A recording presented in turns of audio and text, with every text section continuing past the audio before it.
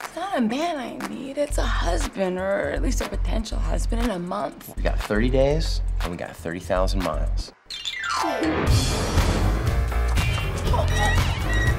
I seem to have misplaced my badge. Gail, could you check your cleavage for me, please?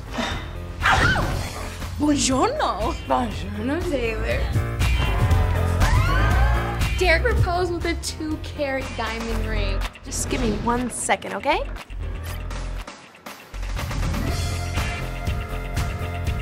Girls, what do you think? Fabulous? I hate them. Who is that? Out this damn door! She crazy. Why are you happy? Ooh, Taylor? And she's out here being a two-timing whore. Oh, could you give me a hot tea? Two sugars, no cream. Ciao.